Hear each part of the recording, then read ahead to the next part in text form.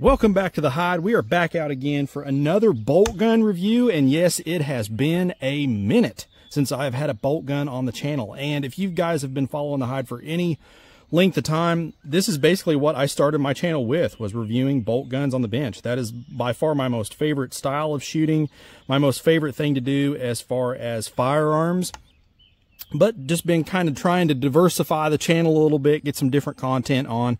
So bolt guns have kind of taken a step back a little bit. However, I seen this one online and I thought to myself, you know, that would be a good one to bring back. It's different enough in the caliber choice, which I'll tell you guys here in just a second, that it might get some views and give you all a little bit of data on the particular caliber and rifle combination. So as you can tell, you know, just face value, this is a standard Savage Axis standard Savage Axis battery of arms. However, this is an Axis 2, so it does come with the uh, the AccuTrigger, so that's definitely nice. Let's go ahead and double check clear here, which it is. We're good to go there.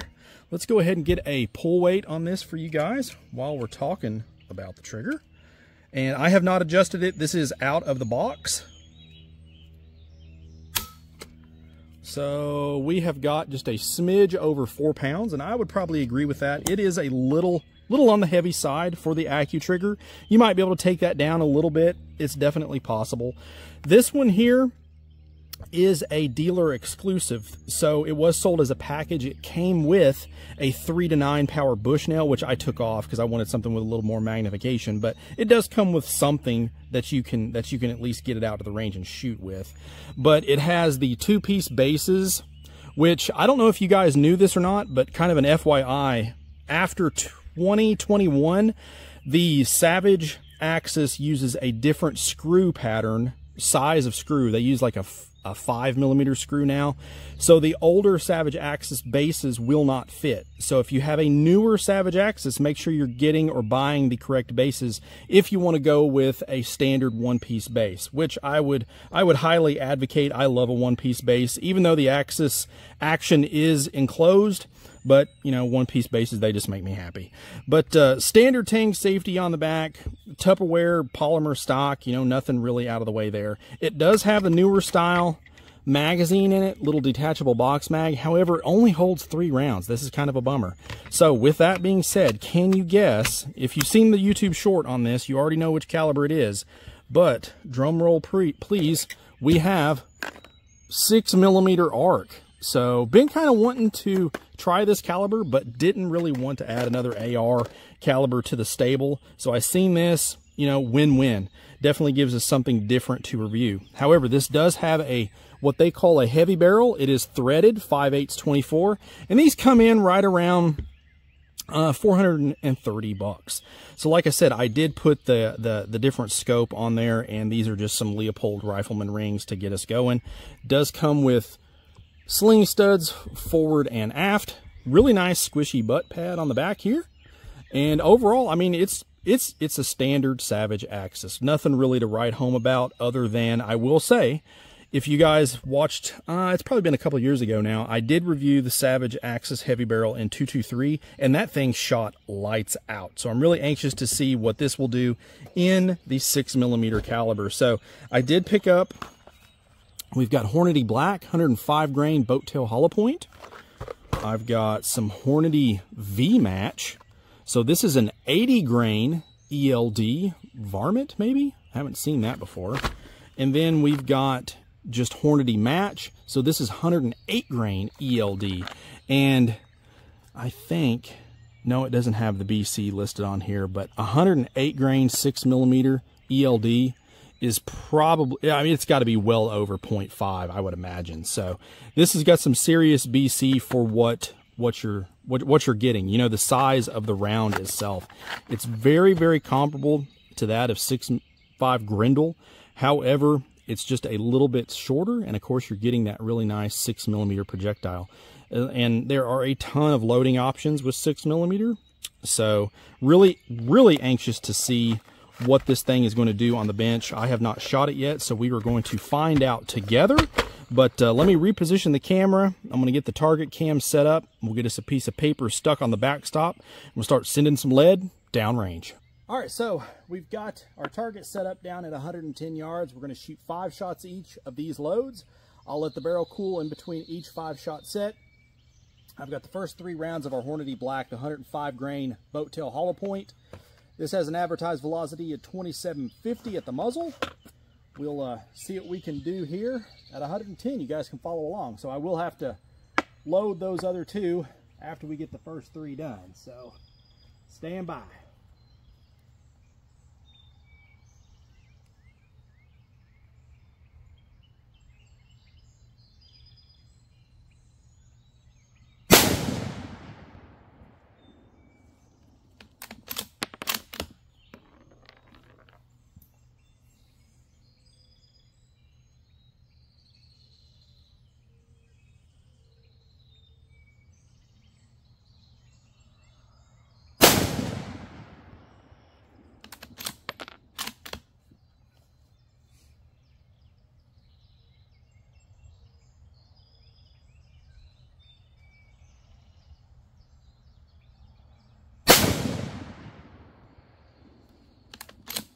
All right, there's our first three.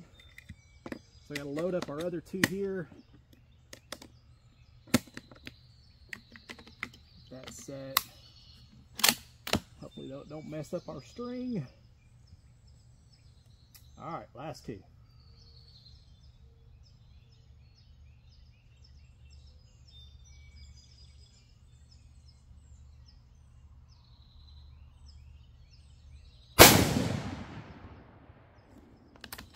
I was afraid of that.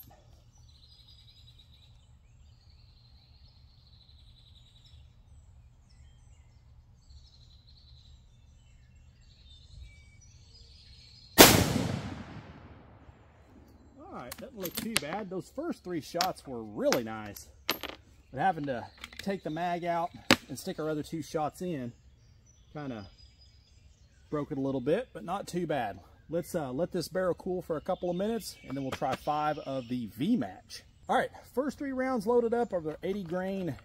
This is the ELD VT, six millimeter arc from Hornady, the V-Match. So I have never shot any of that stuff before in anything. So we'll see what, uh, what it can do at 110.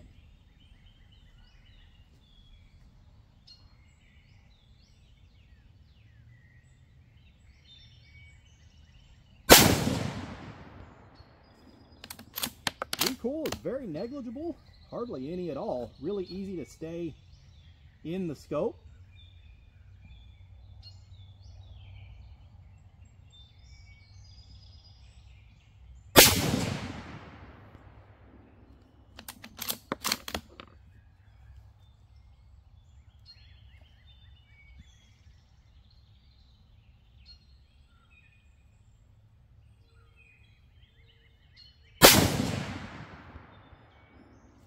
All right, there's those two, or three rather. Let's get our last two loaded up in the magazine here and see what we can do.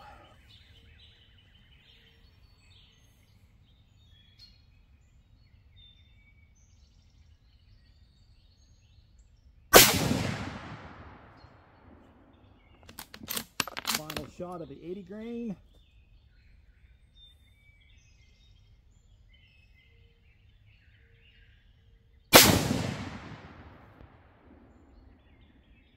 Right, looks like we had that very first shot possibly that got away from us there a little bit. But let's let that barrel cool and we'll try our last group. All right, we got our next three rounds loaded in the magazine here. So this is the just the Hornady match. This is 108 grain ELD. First three shots and then we'll load our last two in and see how we do.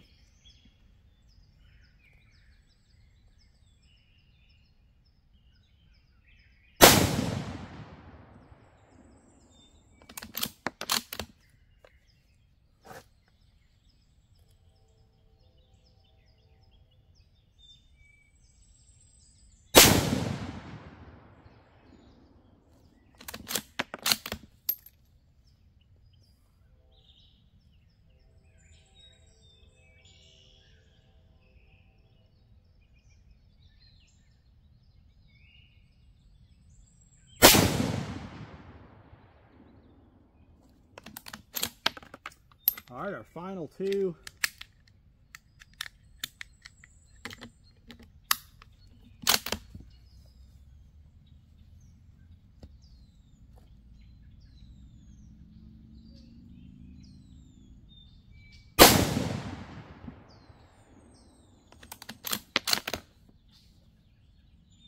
Last shot.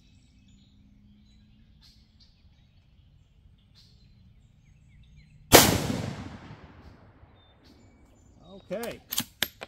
So I'm to run down. I'm to grab our target. We'll see what kind of group damage we did down there. And we'll get some final thoughts on the rifle itself. All right, so ran down, snagged our target, marked it up here real quick for us. So our very first shot with the Hornady Black. So this stuff here, the 105 grain boat tail hollow point. So this stuff is just a hollow point projectile. You see there? And this stuff printed 0.811. So at 110 yards, that is sub MOA.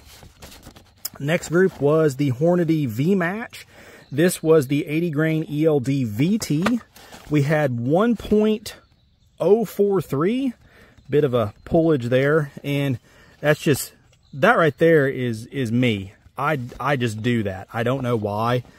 But until I get settled down with a rifle and get some time behind a trigger, I always tend to pull one right. But nonetheless, I mean, we all know I can't shoot, so take this all with a grain of salt. But still, under sub MOA, because this is at 110 yards. And then finally, we had the Hornady Match. So this stuff is the 108 grain ELD.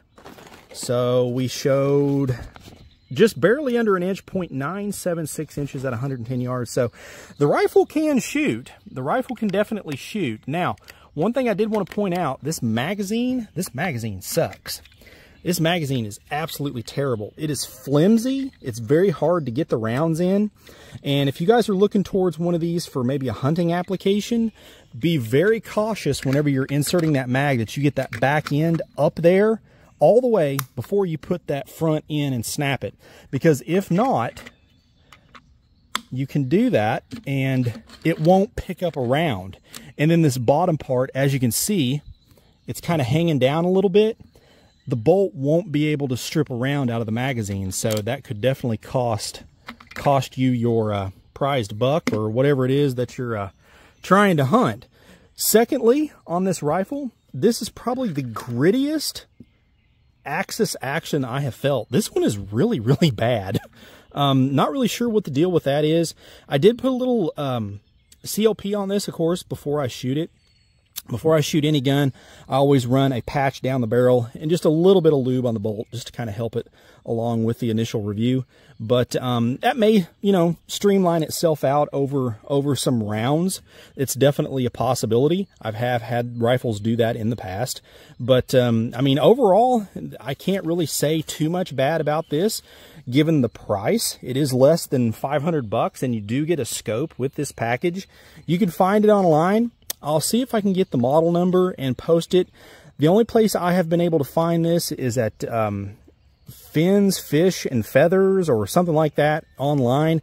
I'm probably saying those uh, names incorrectly in in the wrong order, but it's uh, they're online. That's actually where I picked was able to pick this one up. But they are a dealer exclusive rifle, so you can't really just go into your normal gun shop and pick one up. But overall, I mean, the rifle did shoot good. I'd been wanting to try six millimeter arc. So it was a kind of a, a win-win, kill two birds with one stone sort of thing. I don't honestly know if I will keep this rifle at the hide. I don't really think it serves any purpose for me other than just review material. But um, I don't know. Let me know what you guys think down below in the comments. Uh, honestly, for, for what I do, my uh, my 223 bolt guns with a proper 77 or 69 grain loading does everything I need it to do out to 500 yards. So especially in my Model 12. But um, I'd be really interested to hear your guys' thoughts on that and on this rifle. Is this something you guys think you might be interested in? They sell these in a, in a host of different calibers. It's just finding them in stock. You can get these in, in 223. I know they have them in 6.5 Creed, but this one here is a little bit different because I don't know if you noticed this, but this is actually a 16 and a half inch barrel, which makes this actually kind of cool. Um, it is threaded, so you could suppress it really easily and still not have that much of a, um, you know, a, a, a length issue. So as it's configured right now with this particular buttstock it come with from the factory, it's right at about 38 and a half inches in total length. So very maneuverable rifle for sure. But um, fun review. Glad I finally got to get some six millimeter ARC content on here for you guys. But let me know down in the comments what you think. Uh, if you're new to the channel, I know a lot of you guys have not subscribed. Help a guy out and let's get those sub numbers up. I can't do it without you all. And as always, shoot straight. Later.